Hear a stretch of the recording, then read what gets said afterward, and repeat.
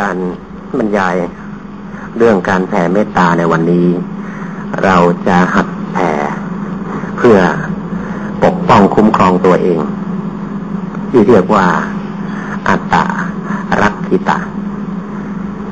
ซึ่งพระพุทธเจ้าก็ถือว่ามีผลไปถึงการคุ้มครองผู้อื่นด้วยโดยปริยายเป็นปรรัติตาการคุ้มครองผู้อื่น ก็จะมีผลกลับมาสู่ การคุ้มครองตัวเอง เพราะว่าการคุ้มครองคนอื่นการคุ้มครองตัวเองนั้น เอาก็จริงแล้วก็จะกลายเป็นเรื่องเดียวกัน ก็เพียงแต่ว่าการคุ้มครองตัวเอง ผู้คุ้มครองนั้น จะได้มากกว่าผู้ที่ได้รับการคุ้มครองเพราะเหตุว่าผู้ที่ได้รับการคุ้มครองนั้น ไม่ได้ทำอะไร และที่ได้อะไรบางอย่างนั้นก็เนื่องมาจากบางสิ่งบางอย่างที่ ผู้ได้รับการคุ้มครองนั้นมีเป็นทุนอยู่ คือผู้ที่มีทุนน้อยและได้รับการคุ้มครองน้อย หรืออาจจะไม่สามารถได้รับการคุ้มครองเลยก็ได้ ในเงื่อนงำในทางลึก เมื่อเราพูดถึงการ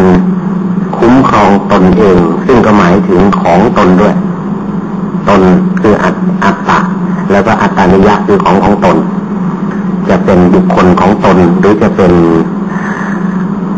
สิ่งของของตน เราก็สามารถที่จะฝึกอันนี้ซึ่งเราคงจะฝึกกันแบบเอาชัดเจนกว่า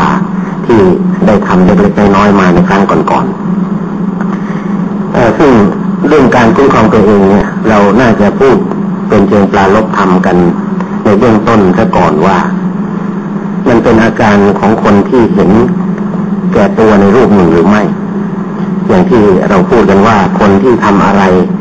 แล้วก็นึกถึงแต่ตัวเองเนี่ย เป็นคนที่เห็นแก่ตัว แล้วก็คนที่ทำอะไรแล้วก็มักจะนึกถึงคนอื่นนั้นเป็นคนที่ไม่เห็นแก่ตัว ซึ่งเมื่อเรามาดูธรรมะเนี่ยก็จะปรากฏว่า ในธรรมะนั้นมีทั้งส่วนที่สอนให้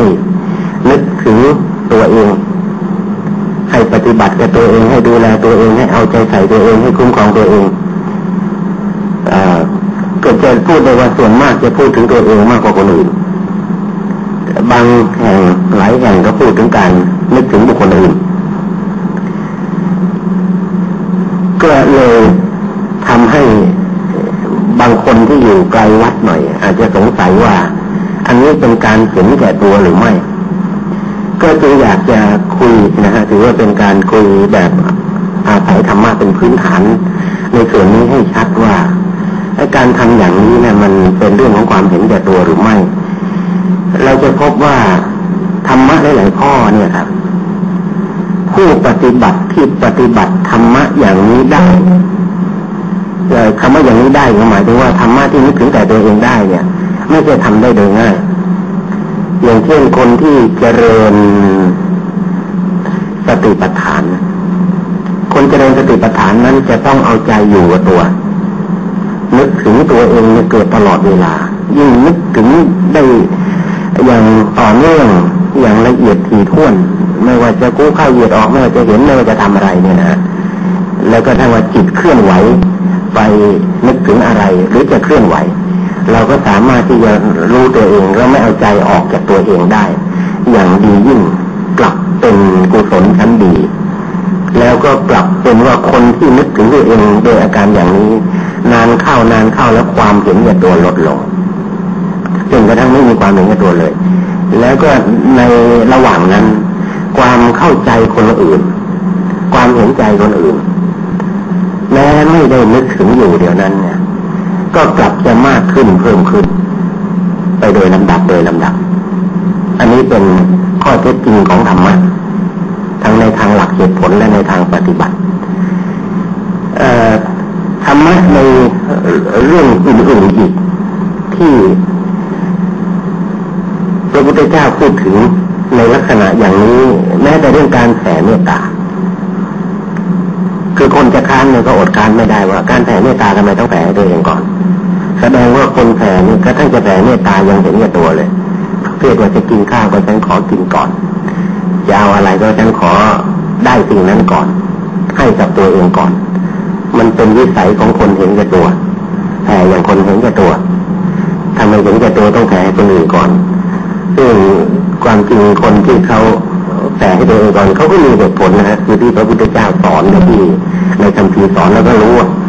ว่าทำไมต้องแผ่ให้กับตัวเองก่อน ก็เพราะว่าผู้แผ่เนี่ยต้องการจะแผ่ให้คนอื่นให้ได้เพราะวิธีที่จะนำไปสู่การแผ่ความรู้สึกดีๆเช่นนั้นให้คนอื่นได้ ก็ต้องต้องอาศัยการเข้าใจตัวเอง การแผ่ให้กับตัวเองให้ได้ก่อน แล้วก็จะตัวเองก็จะเป็นสะพานทอดไปถึงบุคคลอื่นได้ในภายหลัง อย่างนี้ด้วยเหตุนั้นเรื่องของการนึกถึงตัวเองเนี่ย ที่จะนับว่าไม่เป็นความเห็นแก่ตัวเนี่ยนะครับ ให้จับหลักตรงนี้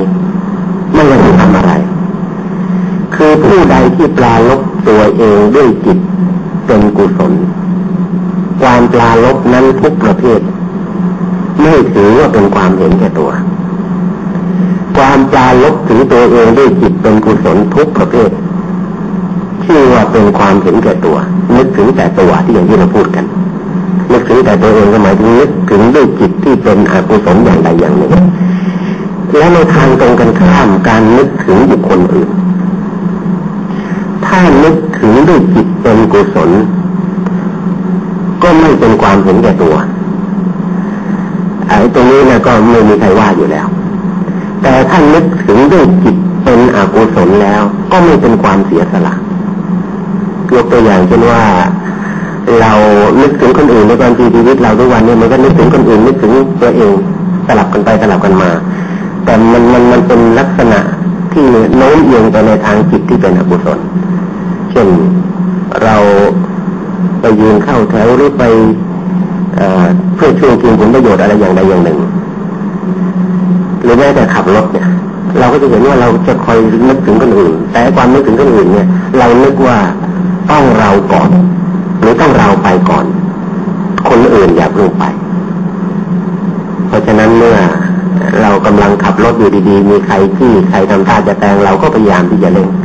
เล่งเพื่อปิดโอกาสการได้ก่อนของคนอื่น อาการนึกถึงคนอื่นอย่างนี้เป็นเรื่องความรู้ตัวหรือในพลานที่ไปซุ่มเพื่อจะยิงสัตว์ แล้วก็ดูสัตว์ดูดูดูนี่นะมันก็ไม่ได้เป็นกุศลมันเป็นความรู้ตัวอย่างอย่างรุนแรงที่สุดเลยเกือบจะไม่ได้ดูตัวเองไม่ได้นึกถึงตัวเองนะฮะนึกถึงคนอื่นมาก หรือคนที่ทำอะไรที่จะต้องไป มองคนอื่นอย่างเป็นเหยื่อของตัวเองเนี่ยที่ไปเฝ้าดูเขาเดินไปเดินมาอ่ามันก็เป็นเรื่องของความเห็นแก่ตัวอย่างน่าเกลียดที่สุดนั่นเอง เพราะฉะนั้นหลักเมื่อจริงอยู่ตรงนี้ ว่าเห็นหรือไม่เห็นไม่อยู่ที่เป็นอย่างไรนะครับ ดังนั้นการที่เรานึกถึง คนอื่นอย่างที่ถ้าเราจะจับกิเลสมาใส่ให้เห็นชัดๆเนี่ย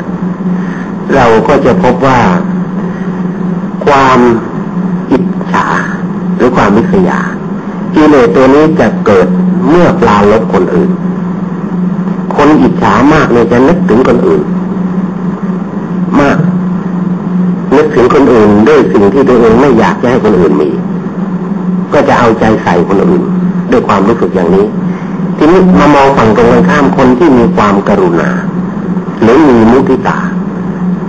มีจิตเป็นมุติตา มีจิตเป็นกรุณาเนี่ยครับ ก็จะคอยสอดส่องว่าใครมีความทุกข์ความเดือดร้อน ที่พอจะช่วยได้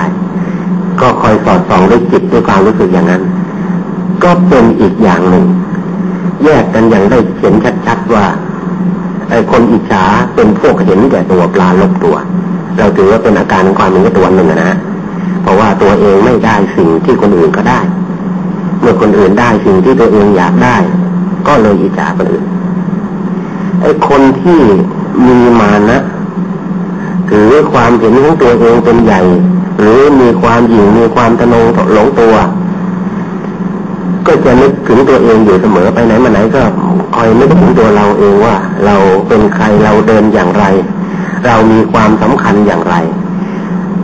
มันก็กลายเป็นกิเลสและนั่นมันก็เป็นสิ่งที่ฟ้องถึงความถึงแก่ตัวของบุคคลนั้น อย่างนี้เป็นต้นนะกิเลสจะมีเยอะ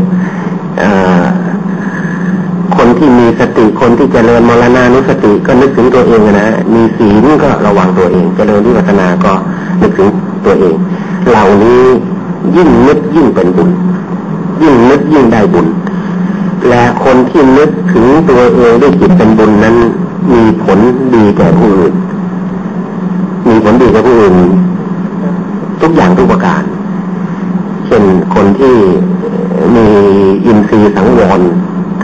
มีอารักขาคุ้มครองตัวเองดีเนี่ย ไม่ไปเดินเหยียบโน่นเหยียบนี่ไม่ไปเดินเหยียบคนอื่น ไม่ไปเดินชนคนอื่น ไม่ไปขับรถคนอื่นนี่ก็เป็นผลดีแก่คนอื่น ผู้ที่รักษาประโยชน์ตนด้วยรักษาประโยชน์ผู้อื่นด้วย ระวังความโกรธของตัวเองก็เหมือนกันระวังอารมณ์ของตัวเองก็เหมือนกันมันก็มีผลดีไปถึงคนอื่นเพราะฉะนั้นพระพุทธเจ้าจึงได้หลักไว้ในพระไตรปิฎกดังที่ได้กล่าวแล้วในตอนต้นนั้นว่าผู้รักษาตัวหรือรักษาตนชื่อว่ารักษาผู้อื่น ผู้รักษาผู้อื่น ก็ชื่อว่ารักษาตัว อธิบายว่า จงรักษาผู้อื่นด้วยการรักษาตัว แล้วก็จงรักษาตัวด้วยการรักษาผู้อื่น คือถ้าหากว่าเราดูแลคนอื่นได้ผลมันก็มาถึงตัวนะผลมาถึงตัวเนี่ย ไม่ว่าจะเป็นผลในทางกรรมนะแต่ผลในทางกรรมเนี่ย ก็อาจจะลึกหน่อย แต่ว่ามันค่อนข้างจะแน่นอนในทางหลักการมากหน่อยเช่นว่าเราไม่เบียดเบียนผู้อื่น เราเห็นคนอื่นจะถูกคนอื่นเบียดเบียน เราก็ไปให้การคุ้มครองถ่ายถอนชีวิตเยอะเราก็จะเป็นคนไม่มีอายุสั้น ไม่มีโรคมาก ไม่ถูกเบียดเบียนมาก ใครเบียดเบียนไม่ได้ อย่างนี้เป็นต้นนี่ถ้าหากว่าเราให้เมตตาเนี่ย มันก็แบบเดียวกันนะครับ แต่เมตตาให้กับตัวเองแต่เมตตาให้คนอื่นก็ก็เป็นโดยลักษณะอย่างนี้ไอ้ความต่างความเหมือนของความ หรือสิ่งที่เราเรียกว่าการคุ้มครองเนี่ย คือเรื่องของการคุ้มครองตัวเองนี่ไม่มีใครไม่เคยคิดเรื่องนี้ ไม่ว่าจะเป็นคนรู้ธรรมะหรือไม่เป็นคนรู้ธรรมะแม้แต่สัตว์เดรัจฉานเนี่ยนะมันก็มีความคิดมีวิธีมีความพยายามที่จะคุ้มครองตัวเอง เสร็จแล้วในผลมันออกมามามาว่าให้บางคนคุ้มครองตัวเองอย่างดีทำไมคุ้มไม่ได้ คุ้มครองทรัพย์สินของตัวเองอย่างดีทำไมคุ้มไม่ได้ ทั้งที่มีเครื่องคุ้มครองที่เห็นเห็นเนี่ยมากมาย แต่บางคนเนี่ย เหมือนกับว่าเขาไม่ได้คุ้มครอง เหมือนดูเหมือนปล่อยปละละเลย แต่กลับมีความปลอดภัยสูงกว่าคนที่พยายามคุ้มครองโดยวิธีการของเขาจึงลำดับประเด็นให้เป็นข้อ ความเข้าใจสามจุดเด็กันคือในจุดที่หนึ่งเนี่ย ที่เป็นจุดเหมือนกัน ก็คือในแง่ของเป้าหมาย หรือจุดมุ่งหมายอาจจะเราจะคุ้มครองด้วยวิธีใด ๆ หรือใครจะเป็นผู้คุ้มครองด้วยเหตุผลใด ๆ ก็ตาม เรามีจุดมุ่งหมายว่า ขอให้เกิดความปลอดภัยแก่ตัว หรือขอให้เกิดความปลอดภัยแก่คนที่เรารัก หรือขอให้เกิดความปลอดภัยแก่ทรัพย์สินของเรา หรือของคนที่เรารัก อันนี้เป็นจุดมุ่งหมาย ทุกคนที่พยายามจะคุ้มครองเนี่ยก็ก็มีความคิดอย่างนี้ ถ้าเอาจุดมุ่งหมายมาว่านี่ไม่ผิดอะ ไม่ใช่เป็นเรื่องผิด ไม่ว่าจะพระคุ้มครองหรือไม่ว่าจะโยงคุ้มครอง ไม่ว่าจะโจรคุ้มครองเนี่ยนะฮะความคิดคุ้มครองนะ่ะเฉพาะตรงนั้นไม่ผิด แต่สิ่งที่มันเป็นผิดเป็นถูกเนี่ย ก็คือข้อที่สอง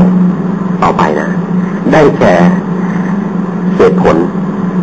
เหตุผลหรือข้อปลาลบในการคุ้มครอง คือว่าการที่เราจะพยายามคุ้มครองตัวเอง ด้วยมีกิเลสเป็นเหตุผลเนี่ยมันผิดอันนี้เป็นจุดแยก ระหว่างพระอริยะกับปุถุชน ระหว่างสาธุชน คนดีกับอันธชนคนมืดบอด แตกต่างกันตรงนี้ว่าถ้าเราคุ้มครองด้วยด้วยความรู้สึกที่เป็นเหตุผลอย่างอย่างปุถุชนเนี่ยนะฮะก็เช่นว่าผลประโยชน์ของเรา เพราะฉะนั้นเราจะต้องหวง ใช้ความหวงแหนนั้น เป็นข้อปลาลบไอ้ตรงนี้เนี่ยถึงได้บอกอยู่เสมอว่า เริ่มต้นเนี่ย ผู้ที่จะคุ้มครองใครหรือคุ้มครองตัวเองคุ้มครองผู้อื่นก็ตามเนี่ย จะต้องทำใจให้สะอาดก่อน บางไอ้สะอาดจากอะไรเราก็มักจะบอกว่าเป็นกลางเป็นกลางก็คือสะอาดจากความรักความชังความยินดียินได้ คือคนที่พิทักษ์ผลประโยชน์ตัวด้วยความกระหืดกระหอบด้วยอำนาจของกิเลสอย่างใดอย่างหนึ่ง เช่นด้วยอำนาจของความกระหนี่ทีเหนียวเนี่ย ไอ้ตรงนี้แหละเป็นตัวเริ่มต้นของความผิด ที่ถ้าพูดอย่างภาษาพระก็เรียกว่า ไม่ทำสักแต่ว่าทำมันอาจจะสูงไป ในระดับ ของผู้ที่ถึงทำชั้นสูง คืออย่างพระอรหันต์อย่างที่ว่าวัดสองวัด วัดหนึ่ง เป็นวัดที่ปกครองโดยเจ้าอาวาสปุถุชน วัดอีกวัดหนึ่ง เป็นวัดที่ปกครองโดยเจ้าอาวาสอาริยะความแตกต่างอยู่ตรงไหน ความเหมือนกันอยู่ตรงไหน ความเหมือนกันก็อยู่ตรงที่ความรับผิดชอบ ตรงเป็นเจ้าวาดแล้วต้องดูแลทุกสิ่งทุกอย่างที่มันเป็นผลประโยชน์ของวัด แต่ว่าความผิดที่เกิดขึ้นกับเจ้าวาดปุถุชนนั่นก็คือว่า ดูแลวัดนั้นด้วยอาคติด้วยมัชริยะนะอย่างที่ท่านพูดไว้มากมายในสุดบางสูตรก็บอกว่าเจ้าอาวาสที่ปกครองวัดด้วยความตรณีเช่นตรณีอาวาสก็ดี หรือเป็นคนที่ไม่พิจารณาไข้ครวนไตรตรองไว้ดีซะก่อนตำหนิหรือสรรเสริญบุคคลอื่นมันก็เลยกลายเป็นผิดคือไปตำหนิหรือสรรเสริญบุคคลผู้ที่ควรตำหนิหรือไม่ควรตำหนิควรสรรเสริญหรือไม่ควรสรรเสริญสรรเสริญมันก็ทำให้ความมุ่งหมาย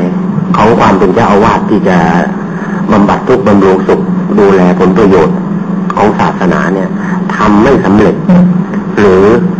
ทำแล้วมันสำเร็จบ้างไม่สำเร็จบ้างปะปนกัน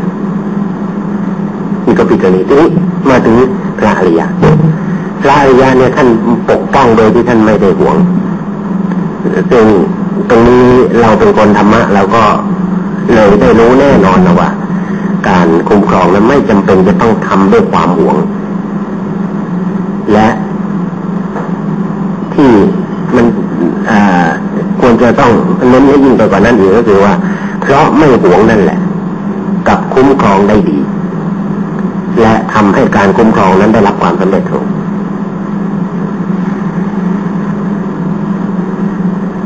อย่างที่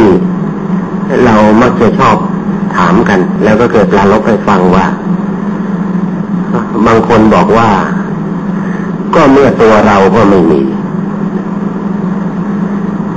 ของของเราก็ ไม่มีไม่ว่าจะเป็นลูกเราญาติพี่น้องเราทรัพย์สมบัติของเรา เมื่อเป็นอย่างนั้นเราจะไปปกป้องคุ้มครองทำไมอันนั้นหรือถ้าใครคิดว่าตัวไม่มีของของตัวก็ไม่มี คนนั้นจะปกครองดูแลอะไรได้ เป็นคนที่ไม่มีคุณสมบัติจะปกครองดูแลอะไรเลยเราก็พูดเป็นอย่างนี้ ซึ่งมันก็น่าเห็นใจเพราะว่าไอ้เรื่องตรงนี้มันอาจจะลึกแล้วก็ค่อนข้างจะละเอียดหน่อย ที่เราจะเข้าใจได้เพราะเหตุว่าให้เราเนี่ย มันมีความโลภมีความกำหนัด เวลาจะนึกถึงเรานึกถึงเขาเนี่ยก็เอาเอาเอาเราเอาของเราเอาเขาเอาของเขาเข้าไปใส่ แล้วมันก็เลยทำให้เกิดแรงบันดาลใจจากกิเลสเราก็เลยนึกว่าคนไม่มีกิเลสทำอะไรโดยไม่มีกิเลสเนี่ย มันไม่มีแรงบันดาลใจ แต่ที่แท้แล้วแรงบันดาลใจมันมีอยู่สองอย่าง อย่างหนึ่งเป็นแรงบันดาลใจบันดาลแล้วทำให้เกิดผลดีแก่ทุกฝ่าย เกิดผลสำเร็จ แต่ถ้ากิเลสบันดาลใจเนี่ย การกระทำใดที่กิเลสเป็นตัวบันดาลใจแล้วมักจะเกิดผลเสียตามหลังมา เราถึงเห็นคนอย่างอย่างที่ว่าสังเกตได้เลยคนทำงานเนี่ยคนกระตือรือร้นทำงานเนี่ย มันมีสองประเภทนี้จริงๆไอ้ประเภทที่กระตือรือร้นแบบหวงงาน แบบจะเอา แบบจะยึด แบบจะถือครองแล้วก็ทำด้วยความกระตือรือร้น พวกนี้ก็พวกหนึ่ง มันก็มีทั้งในวงการทางโลกและวงการทางศาสนาแหละ อีกพวกหนึ่งก็กระตือรือร้น แต่ว่าเขาไม่ได้คิดจะเอาทำด้วยความรู้สึกปล่อยวางแล้วผลเนี่ยมันก็ออกมาว่าเออไอคนที่เขาทาแบบปล่อยวางเนี่ยได้รับความสำเร็จมากกว่า กว่าคนยึดถือ ก็ท่านเราก็ต้องนึกดูเองแล้วกันนะนึกดูเท่าที่เรามีประสบการณ์อยู่ หรืออาจจะนึกถึงตัวเราเองในกิจบางอย่างเนี่ย เราอาจจะกระตือรือร้นด้วยความรู้สึกในทางต่ำบางอย่าง เป็นกิจที่เรากระตือรือร้นด้วยความรู้สึกในทางสูง ก็มีแล้วก็ผลไม่ว่าจะเป็นความสุขความทุกข์การยอมรับ จากผู้อื่นผลได้ที่เกิดขึ้นจากผู้อื่น แล้วก็ชะตาบุญชะตากรรมที่ส่งผลแก่เราภายหลัง ก็จะแตกต่างกันไป มันในตัวนี้เป็นตัว เป็นตัวแรงบันดาลใจ หรือเป็นตัวเหตุผลที่เราพยายามจะรักษาสิ่งนั้นสิ่งนี้จึงต้องรู้จักภาคจิตเนี่ย ให้สะอาดให้บริสุทธิ์ก่อน และการคุ้มครองนั้นได้ คุ้มครองได้ก็ไม่ทำให้เราเสีย คุ้มครองไม่ได้ก็ไม่ทำให้เราเสีย คือเราไม่เสียใจไม่หวั่นไหว แล้วก็ไม่เป็นเงื่อนไขกับคนที่เราไปช่วยดูแลเขาด้วย แล้วก็ก็ได้เห็นกันอยู่ทุกวันนี้นะสมมติว่าอย่างที่ว่าทุกวันนี้อย่างคนหนึ่งเป็นพี่คนโต แล้วคนอื่นก็เป็นเป็นน้องอที่คนโตเนี่ยไม่มีอะไรเสียเลย มีแต่ความปรารถนาดีกับน้องทุกอย่างแต่ความประพฤติความเห็นตัวอย่างอื่นไม่มี แต่มีอยู่สิ่งเดียวที่น้องไม่นับถือ แล้วก็น้องดูถูก น้องลำคาญ ก็คือความพยายามที่จะแสดงความห่วงใยน้องๆและหลานๆเนี่ย มันเป็นความห่วงใยด้วยความวิตกกังวล คือกังวลจนกระทั่ง น้องไม่อยากให้มาห่วงใยแบบนี้ เลยกลายเป็นทำคุณบูชาโทษ ความรู้สึกอย่างนี้ไม่นำไปสู่ความสำเร็จ แล้วก็นอกจากไม่นำไปสู่ความสำเร็จแล้วเนี่ย มันยังกลับกลายเป็นว่า ปัญหาของน้องๆเนี่ย มันเลยเกิดปัญหาขึ้นมาอีกปัญหาหนึ่ง คือพี่เป็นปัญหา พี่เป็นปัญหาหน่อยว่าไอ้ความจุกจิกตื้ที่ความกังวลห่วงใยจนผิดปกติเนี่ยเลยกลายเป็นปัญหา และนานเข้านานเข้าก็เลย ในสายตาของน้องเลยเห็นว่า เออคนที่มีปัญหาเนี่ยไม่ใช่น้องก็ได้หรือมันมีแต่อาจจะเป็นเรื่องเล็กก็แล้วคนที่มีปัญหากลายเป็นพี่ก็ได้มันเป็นอย่างนี้ เพราะฉะนั้นไอ้ตรงนี้มันจึงเป็นเป็น อันหนึ่งเป็นเคล็ดอันหนึ่งว่า เมื่อเราจะคุ้มครองอะไรเนี่ย หรือจะทำอะไรในทางแผ่เมตตาเนี่ย ต้องสลายหรือต้องสำรวจไอ้ความรู้สึก ตัวนี้ฮะที่มันเป็นตัวบันดาลอยู่ข้างหลัง เป็นแรงจูงใจอยู่ข้างหลังเป็นเหตุผล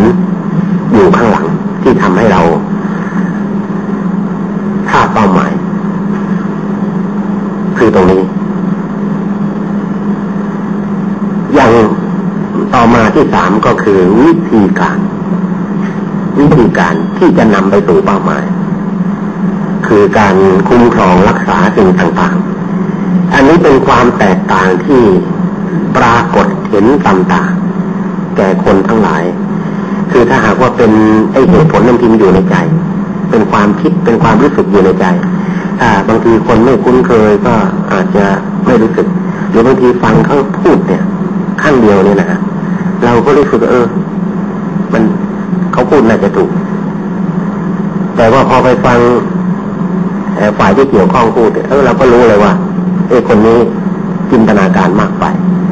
หรือสร้างวิมานจัดเกินไป แล้วก็ที่แน่ๆคือว่าถ้าสองคนมาพูดกันนะอย่างผมอย่างว่าอย่างกรณีพี่น้องเมื่อกี้นะพยายามจะเล่าเทียบให้นึกถึงกรณีอื่น พอสองคนมาพูดกันเนี่ย เราก็เห็นชัดเจนเลยว่า คนที่ทำหน้าที่คุ้มครองเนี่ย มันเหมือนกับว่าตัวเองเนี่ย พยายามจะมาปกป้องผู้อื่น โดยตัวเองอยู่ในสภาพของความป่วยไข้เนี่ยเลยมันออกมาเป็นลักษณะที่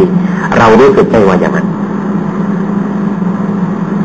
แล้วจะไปบุกไปปกป้องอะไรได้ จะไปคุ้มครองอะไรได้ คนอย่างนี้นะครับ ทีนี้มาพูดถึงวิธี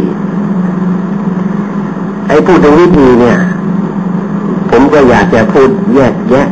เพื่ออป้องกันบางท่านอาจจะคิดว่าสิ่งที่กำลังจะบอกให้ทำเนี่ย มันเป็นเรื่องของความเพ้อฝัน หรือมันเป็นเรื่องของความประมาทหรือมันเป็นเรื่องของอะไรก็แล้วแต่ที่มันเชื่อถือไม่ได้ หรือไม่อีกทีก็เลยกลายเป็นว่า ธรรมะมาปฏิเสธการคุ้มครองด้วยวิธีอย่างอื่นแต่วิธีอย่างอื่นเนี่ยมันมันก็มีทั้งผิดถูกนะอย่างเช่นว่าเราคุ้มครองด้วยวิธีไอ้ทางกายภาพอย่างธรรมดาธรรมดาที่เราทำเช่นว่าเราปลูกบ้าน เราก็ต้องมีรั้วบ้าน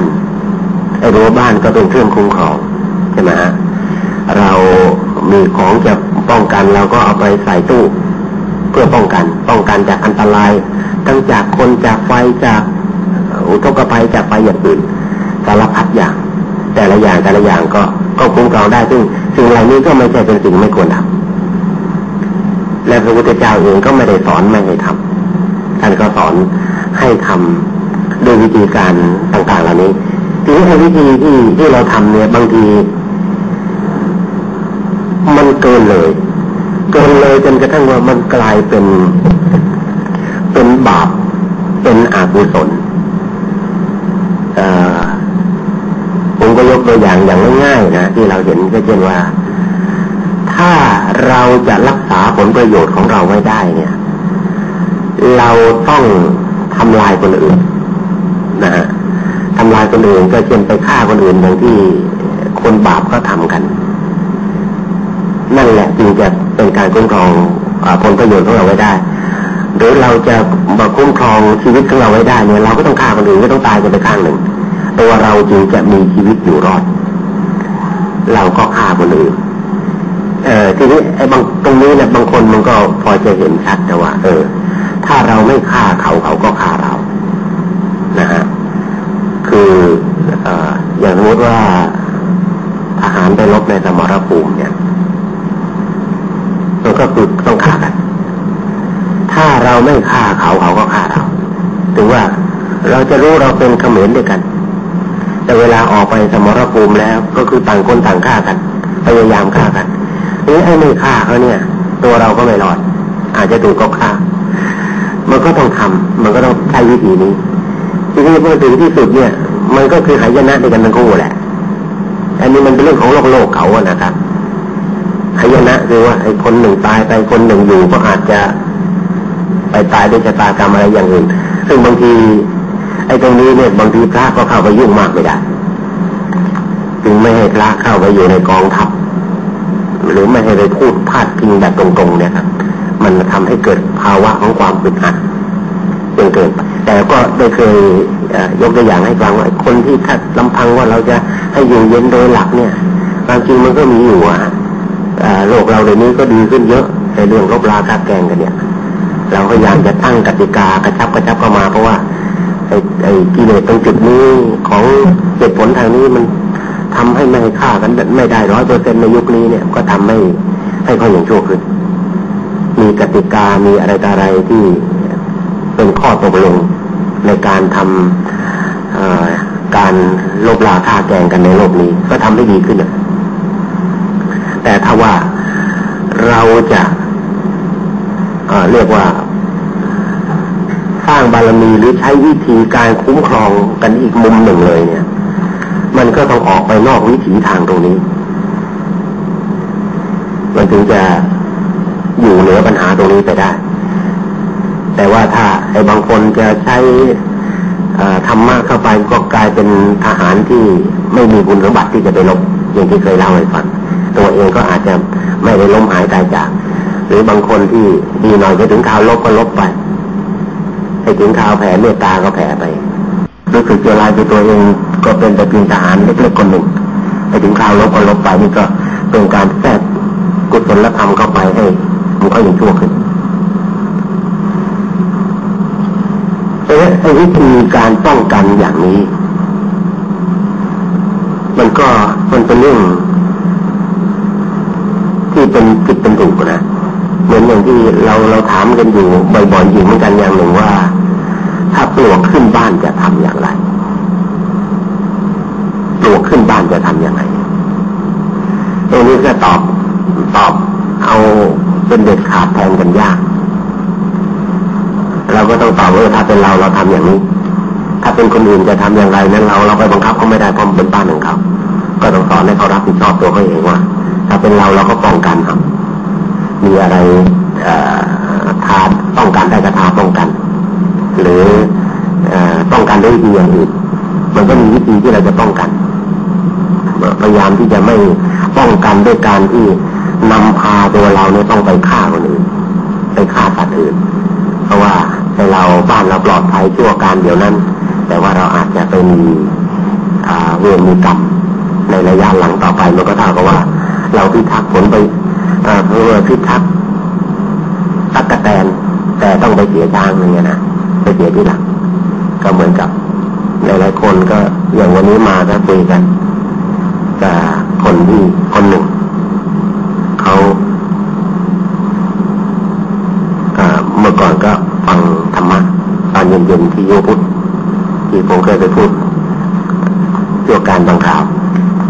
ก็มีความทุกข์มาอย่างคนมีความทุกข์นึ่งเกงขาสั้นมาเขาก็ไม่เคยมาปรึกษาไม่เคยมาคุยก็เห็นมานั่งฟังแบบร้อยร้อย นะแต่ก็ไม่รู้ว่ามีตอนหลังก็ก็คือเรียกว่าตอนนั้นไปทำอะไรก็รู้สึกว่ามันมีอุปสรรคมีปัญหาหมด ไม่รู้เขาเป็นโรคไปไปเจ็บก็ตอนหลังก็มาปฏิบัติธรรมแล้วก็มาใช้ชีวิตตอนหลังนี่ประมาณสามปีสองปีสามปีมาแล้วเจอครั้งสุดท้ายก็รู้สึกไม่ได้ถึงว่าเขาเข้ามาทางนี้อย่างเนี้แน่ก็ได้ความว่าเขา มีเวรมีกรรมเกี่ยวกับปานาธิบาตก็พูดง่ายๆว่าเป็นผู้จัดการควบคุมโรงฆ่าสัตว์โรงฆ่าสัตว์แต่ถ้าตัวเองก็มีเงินมีทองมีรายได้เยอะ ตอนนั้นก็ไม่ได้คิดอะไรพอต่อมาก็มา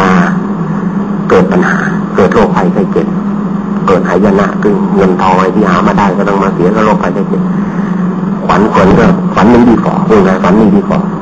กลายเป็นคนที่ดูลักษณะแปลกไปเลย ดูไม่ไม่สมประกอบในทางไหนก็ขวัญกำลังใจไปนะฮะทีนี้ก็ก็พอเข้ามาตอนนี้ก็ดีนะก็ดีขึ้นก็คงว่าแต่อย่างการต่อไปก็อาจจะชีวิตก็จะค่อยๆคืนได้ถ้าพูดว่าไอ้ตอนนั้นที่เขากำลังได้ดีมีสุขตอนทำบาปเนี่ย ใครไปพูดเขาคงถือว่าเป็นพวกขัดผลประโยชน์นะ ใครมาแย่งชิงไอ้ตำแหน่งเข้าไปเขาก็คงจะรู้สึกว่าเป็นพวกแย่งผลประโยชน์อะทีนี้ก็เมื่อตัวเองออกมาแล้วเพื่อนก็ไปถึงว่าไปไปทำอยู่จริงๆอะไปทำอยู่นี่ ตัว ก็ไปบอกว่าอย่าทำเลยทำแล้วก็ต่อไปมันมีเวรมีกรรมอย่างนั้นอย่างนี้ เพื่อนเขาก็ตอกหน้ากลับมาเขามันเรื่องอะไรเรื่องอะไรจะให้เขาต้องไปเป็นอย่างตัว อย่างตัวอย่างอย่างเพื่อน เขามีความสุขมีเงินเดือนมีทุกสิ่งทุกอย่าง ที่ผู้แสวงหาความสุขสบายในปัจจุบันนี้แสวงหาก็มีหมดเรื่องอะไรมาพูดเลยเขาจะต้องสมอย่างนี้สิ่งทุกอย่างอย่างนั้นเขาก็ไม่เชื่อแต่เพราะนั้นตรงนี้ก็มันก็ต้องรอกันไปรอกันไปว่าสิ่งที่ได้มาเนี่ยมันจะคุ้มกับ สิ่งที่ตัวเองจะต้องสูญเสียที่หลังหรือไม่ ซึ่งตรงนี้เนี่ยเราก็ไปบังคับอะไรกันไม่ได้คนทุกคนก็ต้องเลือกเอาเลือกเอาจากความเข้าใจความรู้ในเรื่องชีวิตจิตใจของตัวของตัวเองนะที่เราเข้าใจเพราะนั้นบางทีเนี่ย เราไม่เอาผลประโยชน์อันนี้ยอมสูญเสียผลประโยชน์อันนี้ ก็เพื่อที่จะรักษาความสวัสดีของชีวิตจิตใจไว้เราก็ยอมละเลยบางสิ่งบางอย่าง เพื่อที่จะรักษาบางอย่างที่สำคัญไว้ แต่ว่าถ้าไม่กระจายแล้วทีเราก็ยอมที่จะรักษาบางอย่างไว้ ที่มันไม่สำคัญพร้อมกับยอมสูญเสียสิ่งที่สำคัญกว่า ก็ทั้งหมดนี้ก็เป็นเรื่องของปัญญาที่ใครจะเข้าใจอะไรได้แค่ไหนคนอื่นเขาก็มารับรองแทนเราไม่ได้ เราก็จะไปรับประกันใครเขาเป็นจริงเป็นจังมากนักก็ไม่ได้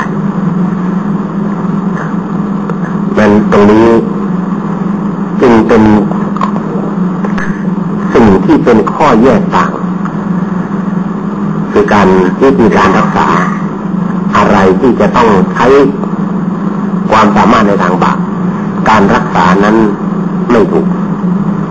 แล้วก็เสียหายถ้าเรามาพูดกันอย่างเป็นตัวอย่างในทางจิตสมมติว่าเราจะรักษาผ ลประโยชน์อะไรก็ได้สมมติว่าเออเกิดไอ้การแย่งลักหักสวัสดิ์กันแล้วคนหนึ่งก็มีความคิดว่าเราจะรักษาผลประโยชน์ คือ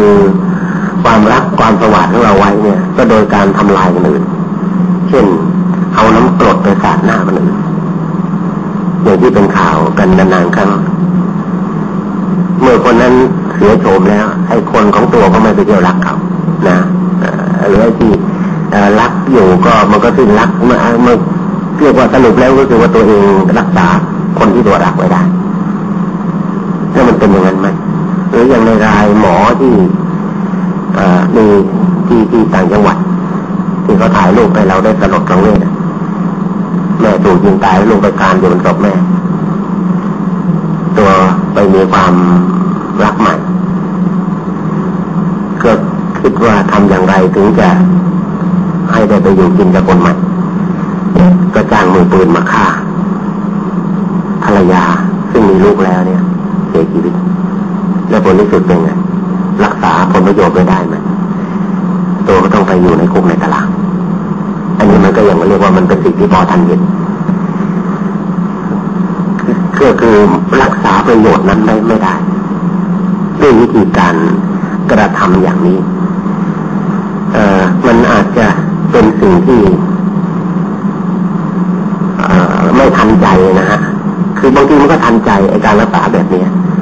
แต่ว่าบางทีมันก็อาจจะไม่ทันใจสำหรับคนบางคนว่า ถ้าเรามัวมันนั่งนึกถึงไอความถูกความต้องในทางศีลธรรมทางจริยธรรมเนี่ย มันก็ไม่ทันใจเรา แต่ว่าทันใจในบางทีมันก็ทันไม่นานนะ อ้ผลร้ายมันก็ทันใจเหมือนกันนะอย่างที่ว่าคนที่ไปทำเสน่ห์คุณใสแยกคนอื่นให้เขาออกจากกัน และตัวเองก็เข้าไปดีแย่งกันมาผู้ชายแย่งผู้หญิงผู้หญิงแย่งผู้ชายก็ดีหรือว่าทำเสน่ห์ยาแฝดไปทำให้เขารักตัวไม่อยู่กับตัวและในที่สุดนี่มันมาจะ ถึงความวิบัติทีหลังอันนี้ก็จะเป็นที่พูดถึงกัน ในที่ทั่วไปอะสำหรับคนที่พอเข้าใจเรื่องพวกนี้มันจึงเป็นเรื่องของการทำลายผลประโยชน์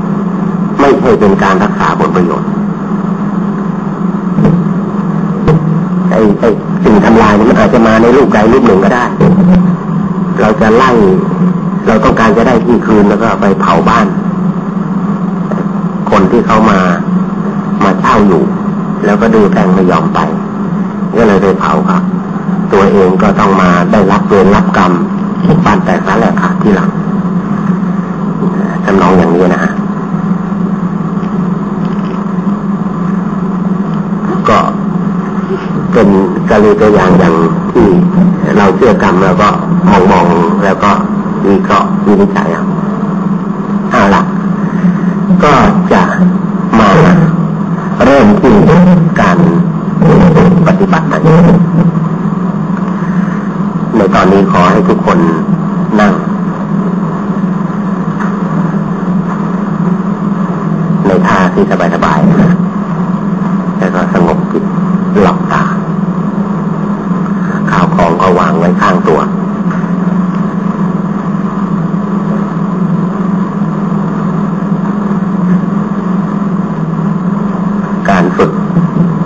แต่คุ้มครองตัวเองเนี่ย อย่าลืมว่าเป็นการฝึกด้วย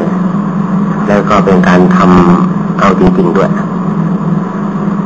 ให้มันเกิดผลในทางคุ้มครองขึ้นได้ คุ้มครองทั้งตนเองและคนอื่นบุคคลบุคคลอื่นก็คือ โดยบุคคลอื่นโดยประยายจะเป็นส่วนใหญ่ แล้วก็โดยตรงก็คือเมื่อเรามีเจตนาคุ้มครอง โดยประยายคือว่าถ้าว่าเรา ปลุกเสกตัวเองให้มีความแคล้วคลาดด้วยอำนาจเมตตาจิตเนี่ย ใครที่เข้ามาอยู่ในรัศมีเกี่ยวข้อง ก็จะพลอยแคล้วคลาดไปด้วยบอกเพราะว่าไอ้เมตตาธรรมของผู้ที่แผ่คุ้มครองตัวเองนั้นปกแผ่ไปถึงบุคคลอื่นแต่แต่ข้าวของเครื่องใช้ การ แผ่คุ้มครองอย่างนี้เวลาที่พระอริยะหรือพระที่ท่านได้ สมาธิจิตสูงเมื่อท่านจะเข้าสมาบัตินานๆ ท่านจะแผ่จิตคุ้มตัว แล้วก็คุ้มคุ้มของของท่านหรือคุ้ม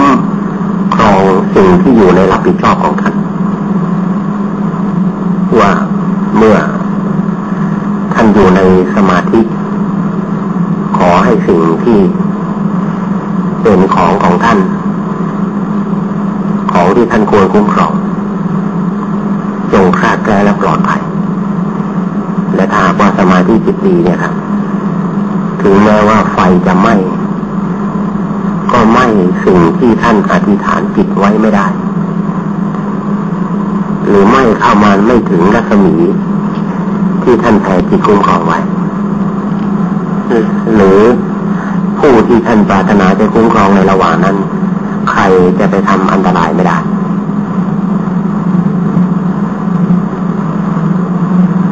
ซึ่งเรื่องนี้เป็นภารกิจที่ผู้เข้านิโรธสมาบัติเข้าผลสมาบัติเนี่ย ต้องแผ่จิตไปอย่างนี้ เราสามารถที่จะนำเอาวิธีการอย่างนี้มาใช้กับตัวเราเองให้เป็นนิสัย ขอให้ท่านแผ่จิตคุ้มครองตัวแผ่เมตตาจิตคุ้มครองตัว ซึ่งเป็นอันเดียวกัน โดยการนึก ถึงตัวเองทั้งตัว ในขณะนี้ นึกถึงตัวเองที่นั่งอยู่ ในขณะนี้ โดยไม่ต้องไล่เลียงอวัยวะ ไม่ต้องไล่เลียงส่วนเพียงแต่นึก และตั้งเจตจำนงขึ้น ว่า ขอให้ข้าพเจ้า จงได้รับการ คุ้มครองป้องกัน จากเมตตาสมาธิ ร่างกายและจิตใจของข้าพเจ้า นี้จงได้รับการคุ้มครอง จากเมตตาสมาธิ ที่ข้าพเจ้า เจริญให้เกิดมี และแผ่คุ้มครองตัวอยู่ในขณะ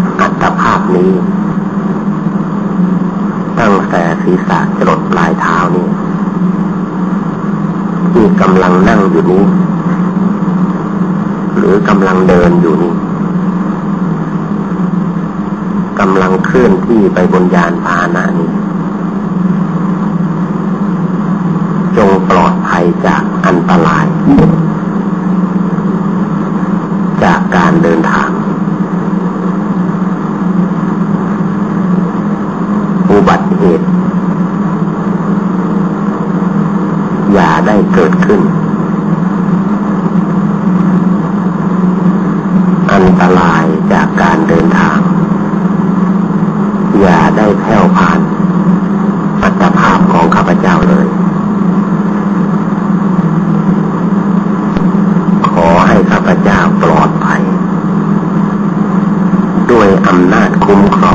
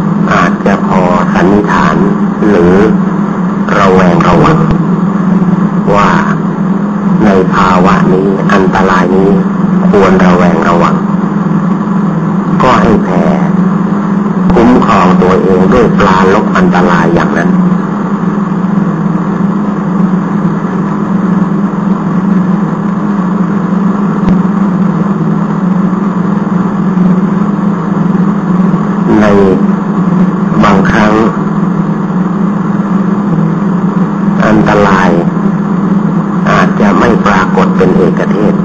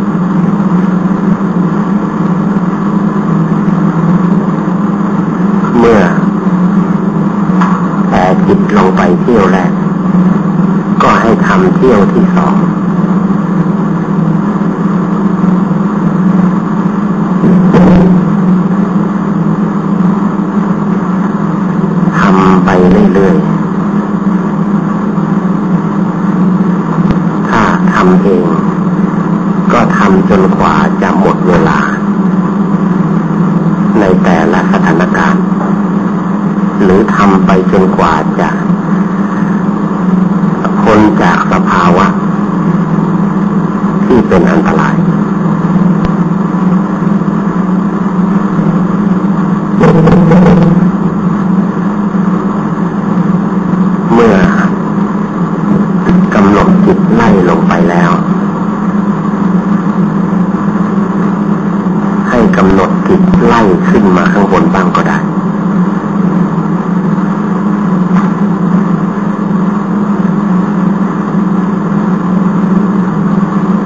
ให้ทำความรู้สึกให้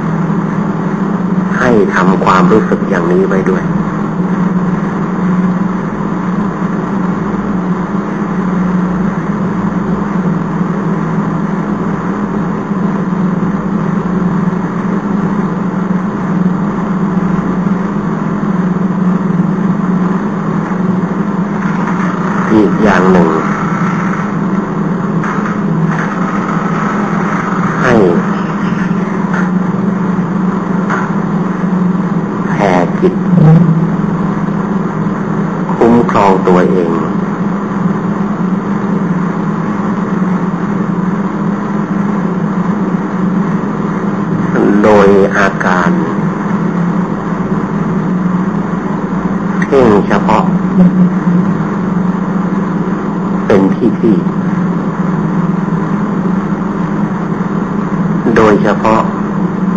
ตำแหน่งแห่งที่ที่เรารู้สึกว่าเป็นจุดอ่อนในทางวิบาก หรือเป็นจุดที่อาจจะเกิดภาวะเสี่ยงขึ้นได้ ในกาละ ในเปสะหรือในกรณียกิจนั้นๆ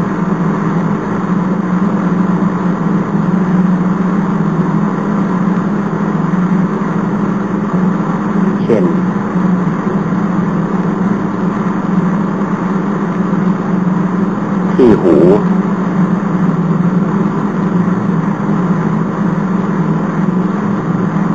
ที่ตา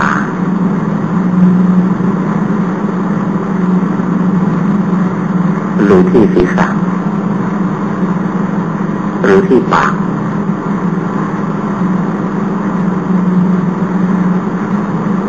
ยกตัวอย่างเช่น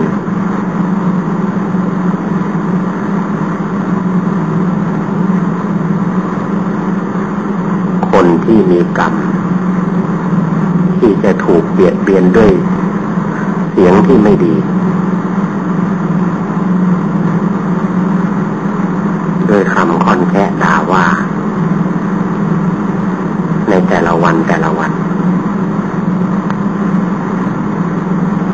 ก็ให้แผ่คุ้มครอง หูของตัวเองด้วยการกำหนดจิต ไปที่ใบหูที่ช่องหูและที่ประสาทหูทำความรู้สึกว่า หูของเรานั้นมีตาบาคุ้มครองและมีพลังกลับสิ่งคือเสียงชั่วร้าย แม้ว่าเรากำลังจะได้ยินอยู่ เราก็จะรู้สึกว่าเสียงนั้นไม่มีพลังซึมซับเข้าไปสู่กระแสจิตของเรา ไม่ย่ำยีจิตของเรา หรือทำให้ผู้ที่เปล่งเสียงนั้นออกมา มี อันจำต้องหยุด หรือต้องไม่สามารถพูดกับเราได้อีก หรือไม่พูดกับเราเช่นนั้นอีก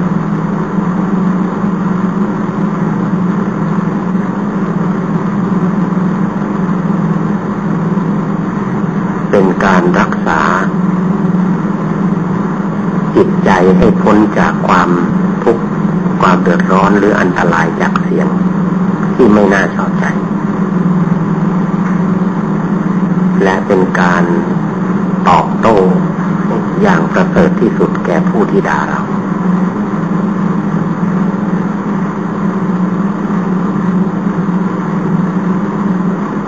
เมื่อเราจะเข้าสู่บ้าน ถ้ามีคนที่บ้าน พูดไม่ดี หรือคนข้างบ้านพูดไม่ดี หรือเมื่อเราจะไปสู่ที่ทำงาน ที่คนในที่ทำงานพูดไม่ดี ก็ให้แผ่คุ้มครอง หูของตัวเองไว้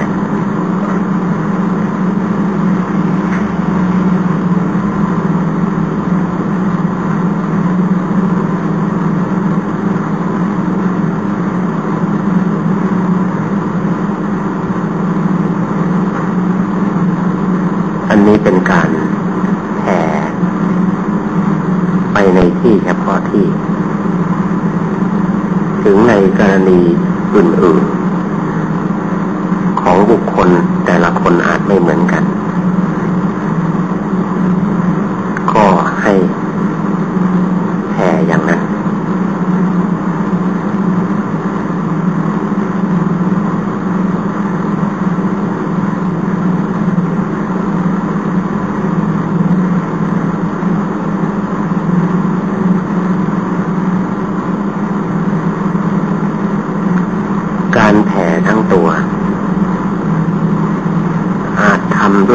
มีการแผ่รอบตัว เหมือนอย่างที่แผ่ในกรณีอื่น ก็ได้เช่นเดียวกันทำความรู้สึก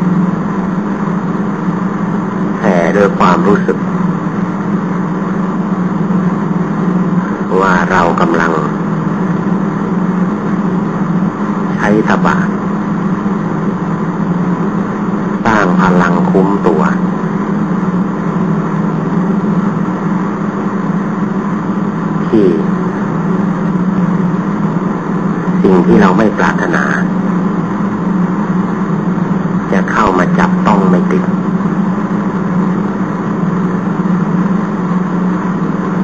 ไม่อาจเข้ามาเบียดเบียนผีทาได้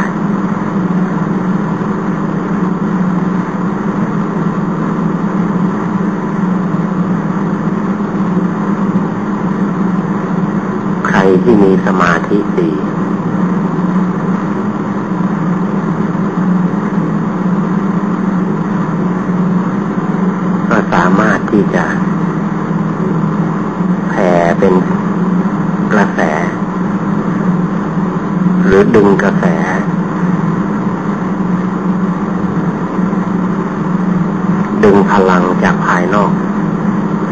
things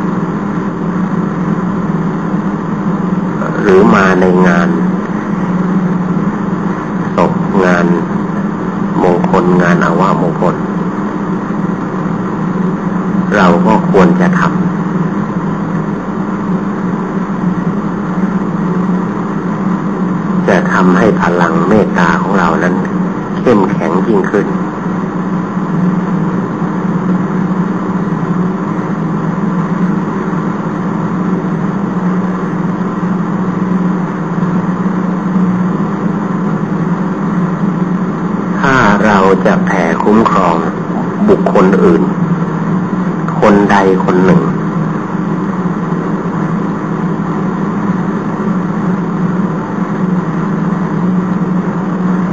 ถ้าเรารู้ว่าเขาอยู่ที่ไหน ในเวลานั้นควรจะทำอะไรอยู่ เช่นเวลานอนเขานอนอยู่ เวลาทำงานเขาควรจะยืนอยู่ ให้เรานึกถึงตัวเขาให้ชัดเจน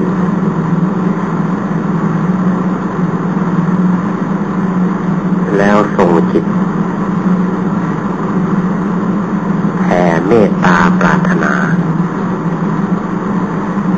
ไปถึงเขา ถ้าเราหวังผลมาก ให้แผ่มากๆแผ่ในลักษณะอย่างนั้นอย่างนี้ แล้วแล้วเราเราอธิษฐานปรารถนา ให้การคุ้มครอง แก่เขา ให้พ้นจากอันตราย หรือแคล้วคลาดจากอันตราย อย่างที่ เราห่วงกังวลหรือคาดคิดว่าอาจจะเกิดอย่างนี้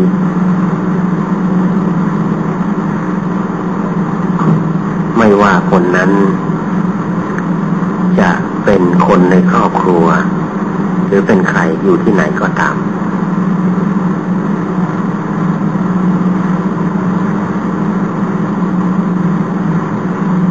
ถ้าจะทำให้ได้ผล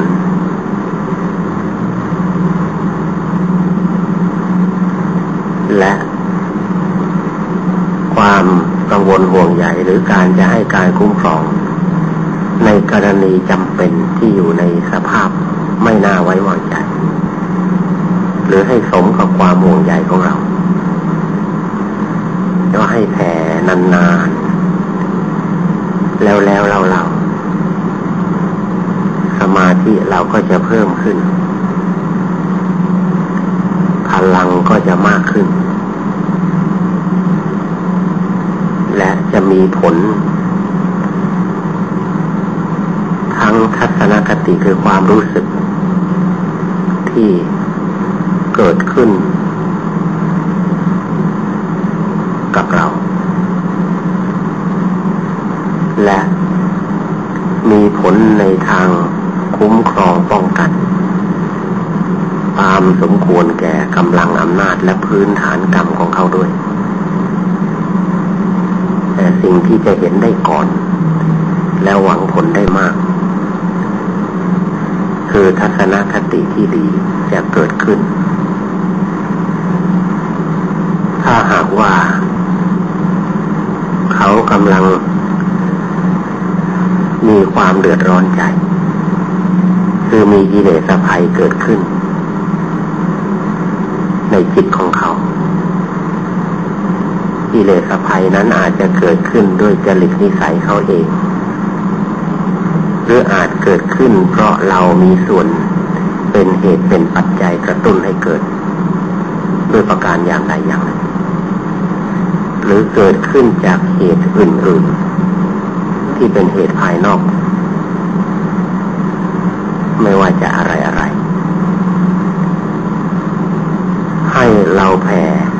คุ้มครองป้องกันทั้งกาย คือป้องกันทั้งอันตรายภายนอก และอันตรายภายใน ให้แคล้วคลาด จากความย่ำยีของกิเลส ถ้าเขาใจร้อนกระวนกระวาย ก็แผ่ ให้เขาใจเย็นสงบระงับ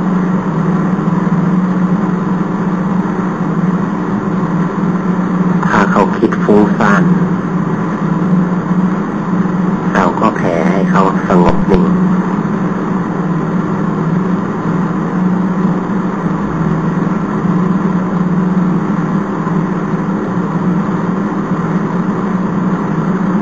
แผ่โดยอธิษฐานให้ผลที่ เราปรารถนาจะให้เกิดขึ้น และดำรงมั่นกับเขา ให้เกิดขึ้นให้ดำรงมั่นต่อไป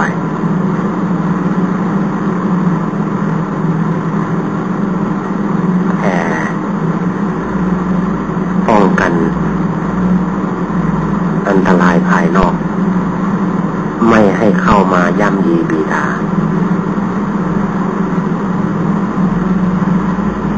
โดยนึกถึงตัวเขาส่งจิตไล่เลียง จาก ศีระจรดปลายเท้า ภาพของเขายิ่งชัดยิ่งดี และถ้าหากว่า เราพกรูปของเขาไว้กับตัวได้เพื่อเป็นสิ่งกระตุ้นเตือน และทำให้เกิดความรู้สึกว่า จิตของเรากับเขานั้น แนบอยู่ด้วยกัน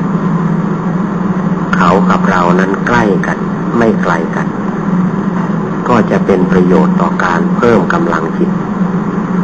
เพิ่มความชัดเจนของจิต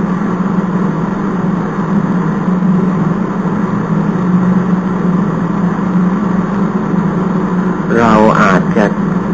แผ่ไปโดยทำความรู้สึกเหมือนว่า เราส่งกระแสพุ่งไปสู่เขา เหมือนฉายไฟฉาย จากมือของเราพุ่งเพ่งไปสู่จุดใดจุดหนึ่ง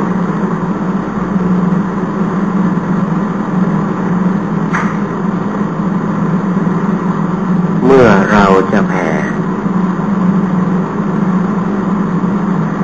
ปกป้องคุ้มครองใครคนนั้น ก็ให้ทำความรู้สึก ว่าเราส่งดวงความคิดพุ่งไปที่ตัวเขาทั้งตัว เหมือนกับดวงไฟที่ฉายบนโรงละคร ที่ส่งสาดไป ที่ตัวละครที่กำลังเคลื่อนไหวอยู่บนเวที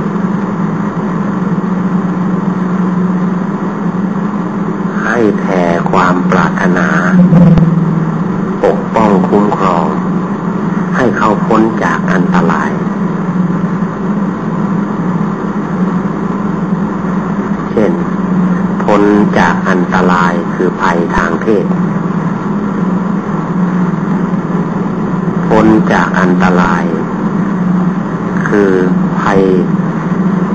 ที่เกิดขึ้นจากการแย่งชิงทรัพย์สิน หรือพ้นจากอันตรายคือการปฏิสลายร่างกาย ให้ได้รับบาดเจ็บล้มตาย หรือพ้นจากอันตรายคืออุบัติภัย จากการเดินทาง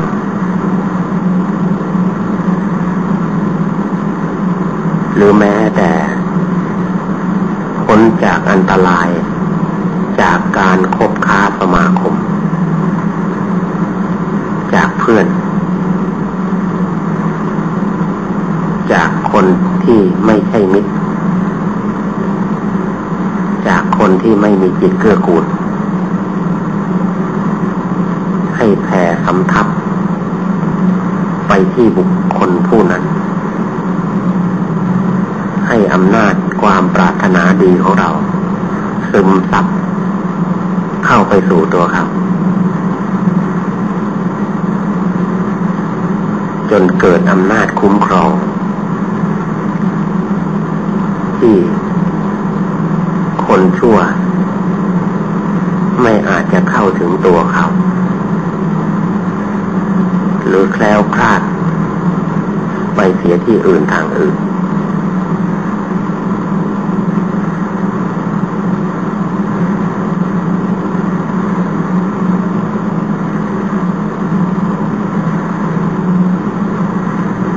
ถ้าหากว่า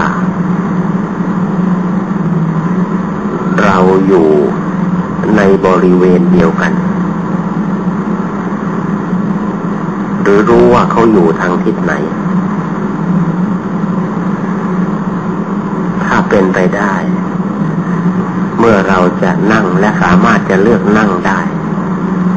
เลือกหันทิศได้ ก็ให้หันทิศไปทางที่ผู้นั้นเขาอยู่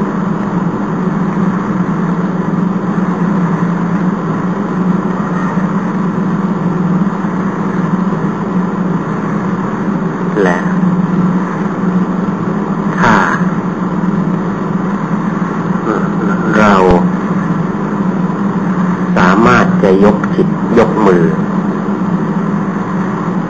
ขึ้นตั้ง แล้วก็ตั้งสมาธิจิตไว้ที่มือ และทำความรู้สึกสะท้อนพุ่งไปหาผู้นั้นโดยผ่านฝ่ามือได้ จะทำอย่างนั้นด้วยก็ได้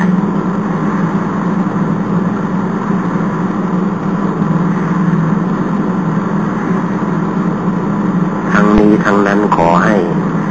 ถือหลักว่ารายละเอียดในวิธีการต่างๆ หากเป็นสื่อกระตุ้น ให้กำลังใจของเรา เข้มขึ้น ได้ความรู้สึกเป็นจริงเป็นจัง และมั่นใจมากยิ่งขึ้น ให้ทำ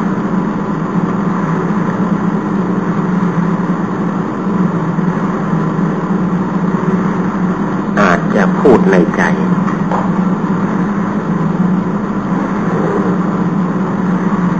หรืออาจจะไม่ได้พูด เป็นแต่นึกรู้ว่าปรารถนาอย่างไร หรือบางครั้งอาจจะพูดออกเสียงบ้าง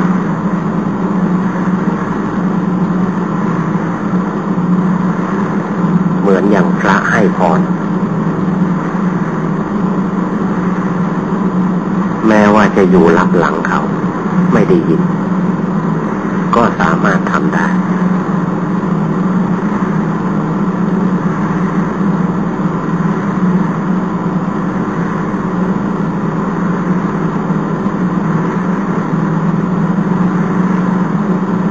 และเมื่อแผ่ไปที่ตัวเขา ขอให้ ขยายขอบเขต ความนึกคิด หรือมโนภาพหรือกระแสจิตแผ่ให้กว้างออกไปจากตัวคน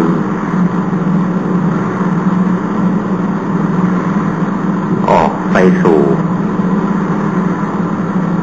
ที่นั่งหรือที่นอน จากที่นั่งที่นอน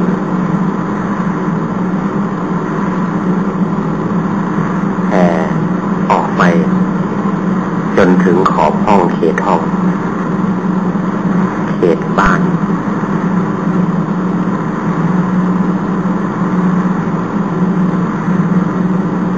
และที่ทำงานหรือ ที่ที่เขาจะไป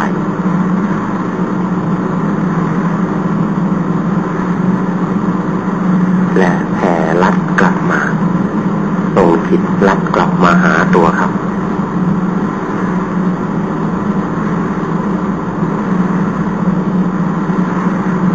จบลงที่หลักว่า ให้ร่างกายและจิตใจของเขาได้รับการคุ้มครอง และตัวเราเองผู้แพ้ต้องทำความรู้สึกว่า เรากำลังให้การคุ้มครอง แก่เขาผู้นั้น คนเดียว หรือสองคนแผ่ไปทีละคนแผ่ไปทีละหลายๆคน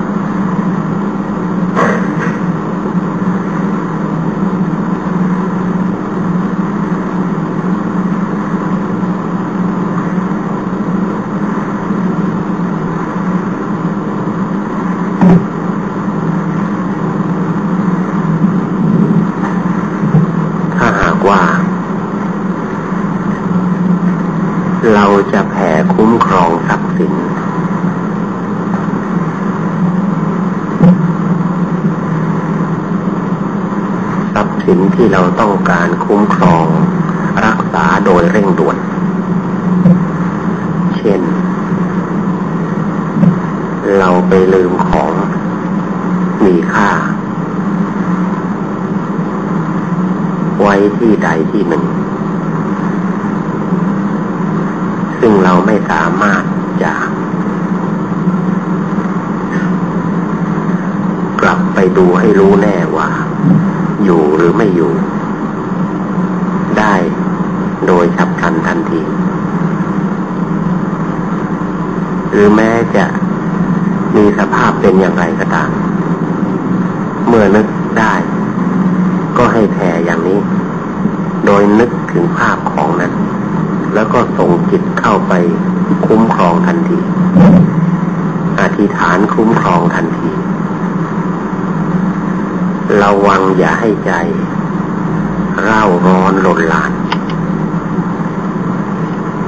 การทำอย่างนี้ สิ่งแรกที่จะได้คืนก็คือ เราได้ขวัญกำลังใจหรือได้จิตใจของเราคืนมา ได้การมนสิการ ว่าถ้าของนั้นจะเป็นของเราก็ขอให้ ได้กลับ ข้าพเจ้าขอแผ่จิตคุ้มครองของที่เป็นสิทธิของข้าพเจ้านั้น ไม่ถึงความหายนะ ไปด้วยโจรภัย ด้วยน้ำมือของมนุษย์ของสัตว์ หรือจากไฟจากลมขอให้อยู่ในสาพเดิม อยู่ในที่เดิม แต่ถ้าของนั้นจะไม่ใช่ของข้าพเจ้าเป็นของคนอื่น เราก็ขอคืนให้ ชดใช้ให้แก่ผู้นั้นแผ่เมตตาให้กับผู้นั้น ที่เขาได้ของนั้นไป ขอให้เขาได้รับความสุข ได้รับประโยชน์ จากของที่เขาได้จากเราไป ให้เขาปลอดภัย ไม่ได้รับอันตรายจากการได้ไป ซึ่งของนั้น ปลอดภัยอยู่ด้วยกันทั้งคนและของ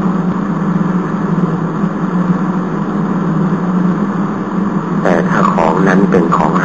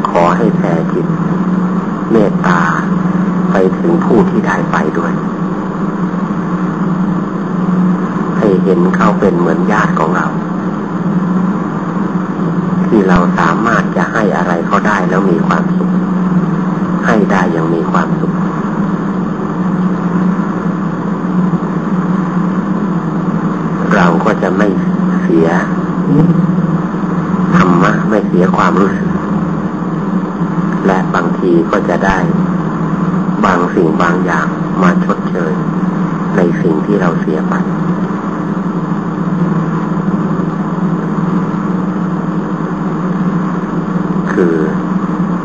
ไม่ไปตามเอาคืนกับคนที่เอาไป แต่ขอชดใช้จากเหตุปัจจัยด้านอื่นไม่จากบุคคลอื่น ซึ่งก็หมายถึง เรียกร้องขอเอาจากกุศลวิบาก ในด้านอื่นให้กลับมาชดเชยแทน ของนั้นก็เหมือนไม่หายอยู่ดี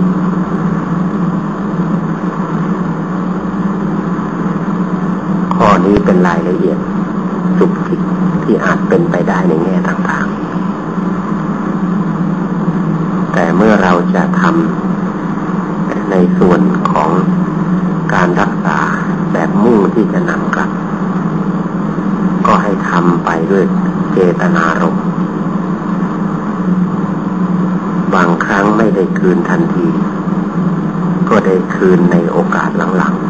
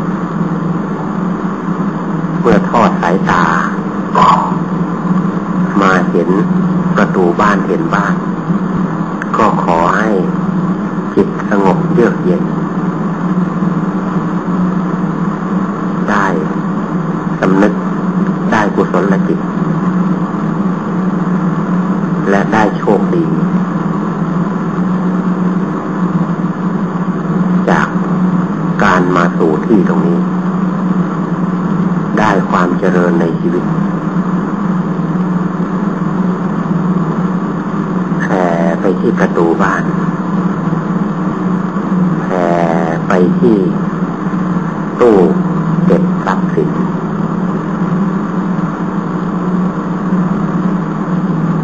แผ่ไปที่เขตบ้านทั้งหมด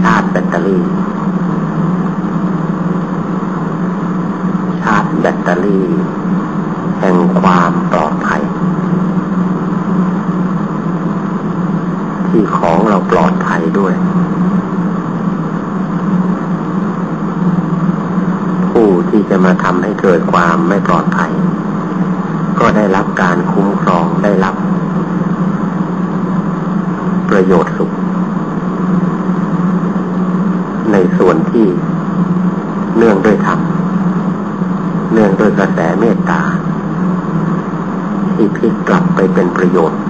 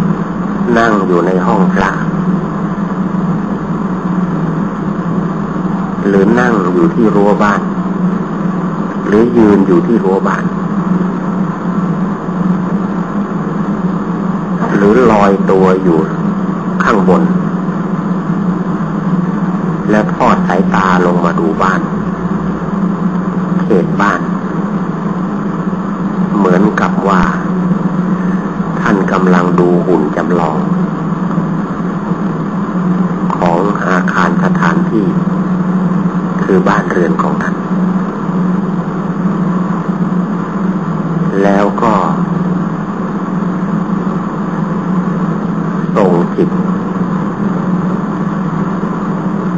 เลื่อน จากรั้วบ้าน เริ่มที่จุดใดจุดหนึ่ง เคลื่อนไปยังทิศใดทิศหนึ่ง ตามลำดับ โดยที่เหมือนตัวท่านเองไปเดินจงกรมอยู่ ยกมือ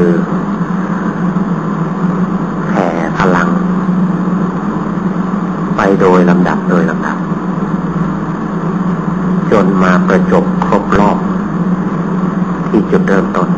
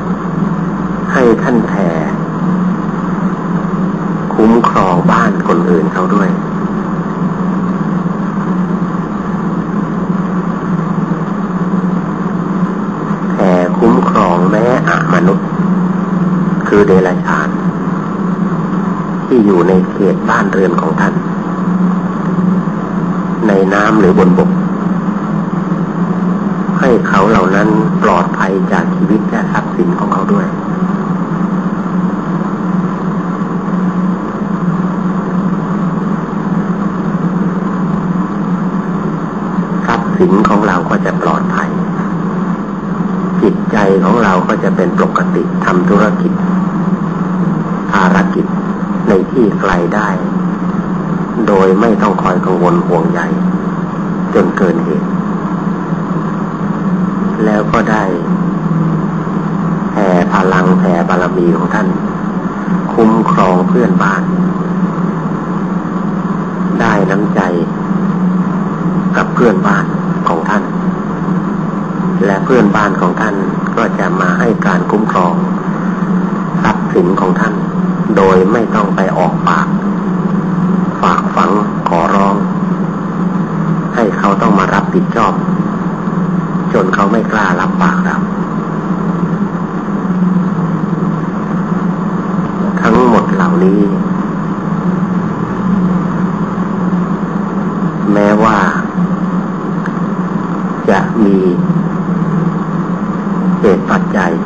หรือเครื่องคุ้มครองด้านอื่น ๆ ที่เพื่อนบ้านเขาให้ความร่วมมือหรือเกิดภาวะบังเอิญแก้วกล้าอย่างใดก็ตาม ขอให้รู้เถิดว่า หรือผู้แผ่จะรู้ได้เองว่า สมุดฐานลึกๆ ในทางการอารักขา คือการแผ่จิต สมาธิยิ่งมาก ใช้เวลาแผ่มากเท่าไหร่ ความ เป็นไปได้จะสูงมากเท่านั้น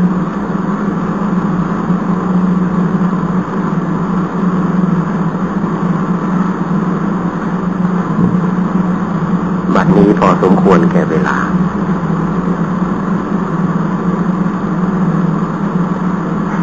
ขท่านออกจากสมาธิได้ บางท่านก็คงสมาธิ บางท่านก็คงง่วงบ้าง มาธิบ้างปนๆกัน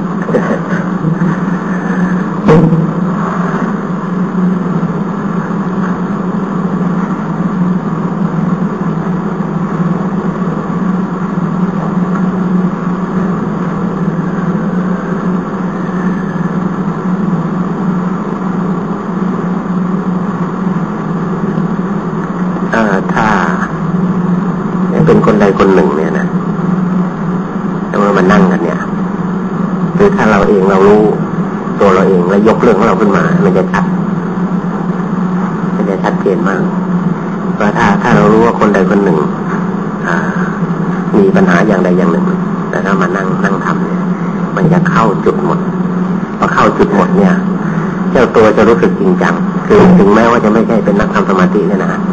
มันจะจริงจังเพราะว่าไอ้แรงกระตุ้นจากความที่ตัวเองมีปัญหา หรือแรงกระตุ้นจากความที่ตัวเองต้องการจะชัดเจนแล้วก็เลยบางทีทำให้ได้สมาธิไวไปเลยสมาธิเชื่อว่าไม่ยอมไม่นานกันทั้งหมดก็ได้อย่างน้อยทั้งการมาชัดเจนเนี่ยส่วนทั้งการปัญญาและมาบางท่านถึงได้เพราะนั้นมาว่าเป็นทำอะไรมากที่เราทำอะไรมากมากกว่าที่จะมาไม่ได้ฟังทั่วไปเพราะทั่วไปฟังแล้วเนี่ยมันไม่ได้สมาธิ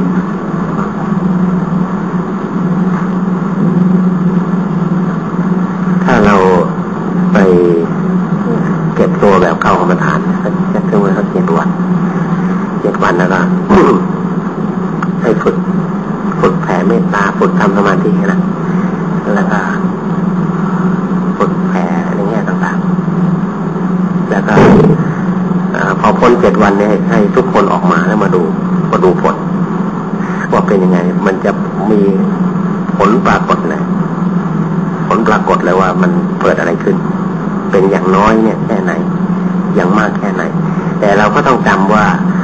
เราอย่าไปหวังผลทุกสิ่งทุกอย่างว่าจะต้องได้ทั้งหมดให้นึกว่ามันอาจจะได้ตอนนั้นตอนนี้แล้วก็ในแต่ละครั้งเนี่ยมันอาจจะได้ผลมากบ้างน้อยบ้างอะไรต่างๆกันไปแต่ว่าได้เนี่ยได้แน่แต่ที่ธรรมาฟังอาจารย์ก่อนอาจารย์โยมเวลาก็เห็นว่ามันได้แล้วในตัวอย่างยกตัวอย่างว่าที่เราแผ่เมตตาไปแล้วถ้าถือถ้ามันไม่เป็นของเราก็ขอถ้าเป็นของเขาก็ให้ตัดถูกต้องแต่ ว่าเนี่ยเป็นเป็นสิ่งที่ได้ไม่ไม่ทราบลงทำให้เกิดความคือที่หรือว่าอย่างบางทีเนี่ยนะสมมติว่ามีคนเขายืมเงินไปจำนวนนึงแล้วก็มันก็เกิดไม่ให้ เกิดไม่ให้เนี่ยเราก็ดูสภาพแล้วเขาไม่สามารถจะใช้ได้ทีนี้ถ้าเรา ช้ไอ้ไอ้ไอ้เซตตรงเนี้ย เราก็ไปเอามาคนอื่นจะให้คนอื่นมาให้แทนให้แทนก็หมายความว่าขอให้ได้เงินจำนวนนี้จากใครก็ตามที่เขาอาจจะต้องมาเป็นฝ่ายให้เรา ให้เราไอ้นั่นละให้ก็เดินเข้าไป แล้วก็มันก็ได้คืนได้คือที่ว่าเนี่ย เป็นสิ่งที่ที่เคยทดลองใช้มันก็เขาเป็นเป็นไปได้จริงๆอันนี้ก็มีการในการจาก พุทธประวัติท่านนาภิกาภิกาเมื่อทำบุญจนหมดแล้วว่าเทวดามาบอกที่มาบอกแสดงตอนว่าไม่ว่าจะไปพบคนหัวร้อนพบกันมันก็ของก็หมดไปทีนี้เมื่ออนาธิกาทิกาเศรษฐีก็ไล่เทวดาเทวดาก็ไม่มีที่อยู่ไปเฝ้าพระพุทธเจ้าพระเจ้าตามไป ตามทรัพย์สินของอนาธิกาทิกาเศรษฐีที่ผู้ที่อยู่ไปก็ได้คืนกลับมาแล้วอยากอนุญาตให้มาอยู่ได้แล้วก็ได้เงินนั้นเข้าของเรานั้นมามากกว่าของที่ได้ทำที่เราไม่ได้เห็นว่าเป็นสิ่งที่มันมีขึ้นคือเคยเห็นบางคนเนี่ยอย่างน้อยก็สองคนที่ที่นึกได้ตอนนี้นะก็เป็นคนดีมีเมตตาช่วยเหลือสกุลแต่ว่าเป็นคนหลวม หลวมในเรื่องทรัพย์สินแล้วมักจะมีคนมาเอาเปรียบนะเช่นว่าจะไปซื้อหาอะไรเนี่ย ก็ต้องโดนคนมาเอาเปรียบ เขาก็ร้อนใจนะ แต่ว่า เขามีสิ่งหนึ่งที่เป็นสิ่งดีมาชดเชยคือว่า เวลาที่คนมาเอาเปรียบรู้ว่า ก็ไปซื้อำนวนหนึ่งมายี่สิบล้าน มันโดนเอาเปรียบ มันเอาสามสิบล้าน และตัวก็เสียเปรียบไปมันขัดเสียไปเปล่าๆสิบล้าน แล้วจะไปตบไม้กบมือมันก็ไม่ได้แล้ว มันก็ผิดพลาดทีนี้จะทํำยังไง ทีนี้ไอ้ตรงนี้นะมันเป็นสิ่งที่เขาเป็นอย่างนี้ตลอด คือหมายก็ไม่ใช่ว่าจะต้องเสียเปรียบตลอดนะ แต่ว่าเขาเสียเปรียบบ่อย แต่สิ่งที่เขาได้เฉยๆก็ได้ตลอด คือไอ้สิ่งที่เขาไปซื้อมาเนี่ยปรากฏว่า มันมาขายได้กำไร เกินกว่าที่เขาขาดทุนไป ตั้งเยอะทุกทีไป อันนี้เป็นเป็นข้อแปลกอันหนึ่ง แล้วก็อีกคนหนึ่งก็ก็คล้ายๆกัน แต่ว่าคนนี้เขาไม่ค่อยเล่าร้อนใครจะมาเปลี่ยนเขาเขาคือเขาไม่ไม่อยาก ไม่เป็นคนไม่ไม่โลภนะ แต่เขาเขาสามารถที่จะหาเงินมาทองได้เยอะอันนี้ก็หาแล้วก็มีคนมาตอดนู่นตอดนี่เขาก็บอกว่า เออ คือไอ้เขาพูดอย่างนี้ได้ว่าเขาเขาสังเกตไอ้กตากรรมก็จนจะรู้แล้วว่า เออ มันโกงได้โกงไป เดี๋ยวกูก็ได้ของกูอีกเขาก็ได้ของเขาเขาจดเชยมาได้เลยแล้วแล้วมันคือไม่รู้บางทีอย่างนี้ฮะแต่ ที่ที่ผมเห็นแล้วก็แปลกทำกันแล้วบางทีเขาไปเจอเศษเงินเป็นล้านเศษเงินกันะแล้วก็ไปเจอคือเขาก็ไม่รู้ไอ้เงินเขาไอ้บรรจงบัญชีอะไรอะไรเนี่ยนะมันประเภทเขาไม่ได้ค่อยรู้รายละเอียดอะ นี่ก็เงินเดี๋ยวบางทีมันโดนคนเอาเปรียบไปอะไรไปเนี่ยเสร็จแล้วก็ไปเจอบัญชีหายนี่โผล่มาแล้วล้านนึงมันไอ้ธุระที่ว่าจะทำแล้วเงินนั้นมันหายไป มันมีเงินมันแทนแล้วบางทีโผล่มาได้ดอกเบี้ยสี่แสนอะไรเงี้ยนะเออพอจะไปปิดบัญชีเอาได้ดอกเบี้ยสี่แสนเนี่ยมันก็เลยกลายเป็นว่าพอถึงจริงๆแล้วไม่จด มีอะไรสักอย่างนึงมันจะต้องโผล่ขึ้นมา แบบคาดไม่ถึงอันนั้นก็เป็นเรื่องของเขาเราไม่เป็นอย่างนั้นหรอกอ่าอ่าอ่า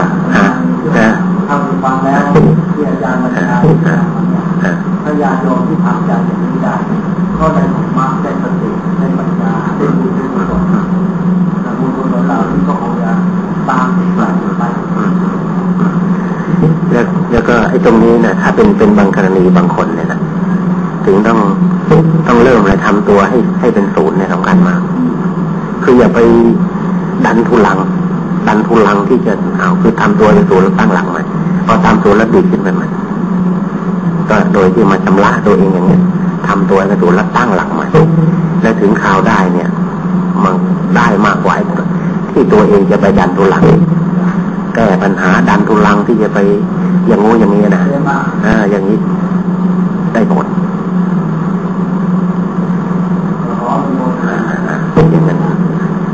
วันนี้เราจบท่านี้นะ